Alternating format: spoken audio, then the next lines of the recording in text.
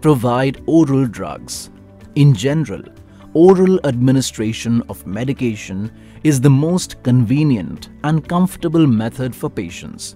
When compared to other routes of administration, oral medication takes longer to start acting and lasts longer but has a weaker effect. Make sure the patient is able to swallow and has no conditions that would prevent them from receiving oral medication before giving them any oral medications. A clean mortar and pestle can be used to crush some tablets if the patient has dysphagia, which makes it easier to administer medication. To ease swallowing and improve absorption and dissolution of the medication, offer a glass of water or another oral fluid, taking any fluid restrictions into account. How to administrate the oral medication. Check the doctor prescription. Put the seven rights into action three times. Each medication must be treated separately. The right patient, the right medication, drug, the right dose, the right route, the right time, the right reason, the right documentation. The medication label must be checked for name, dose and route and compared to the prescription three times.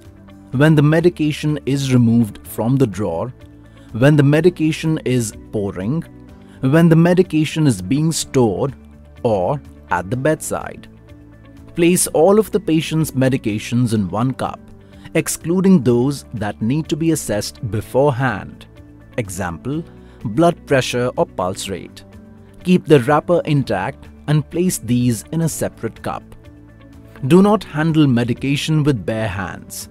If you must touch the medication, use clean gloved hands.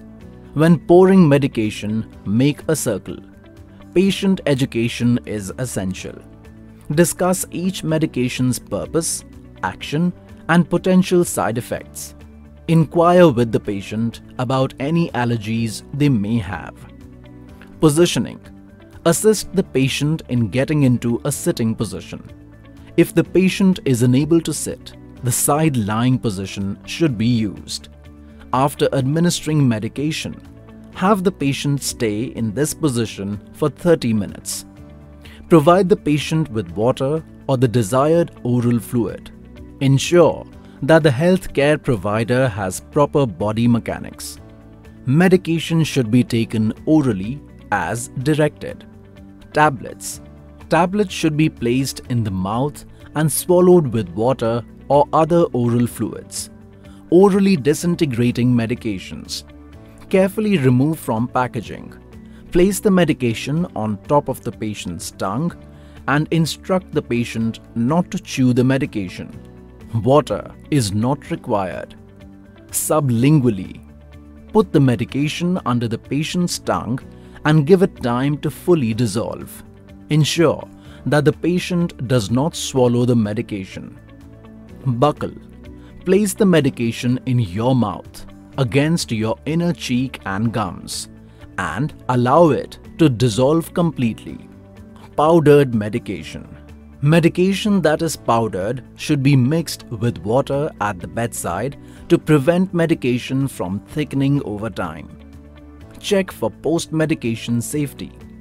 Maintain contact with the patient until all medications have been swallowed or dissolved. If necessary, perform post-assessments and or vital signs.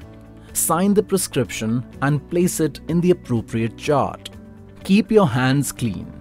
Any additional information such as patient education, reasons for not administering medication, and adverse effects should be documented.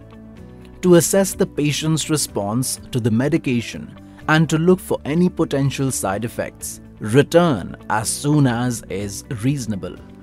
If the patient exhibits any negative symptoms, withhold any additional doses examine vital signs, inform the prescriber, inform the pharmacy, keep a record of the event.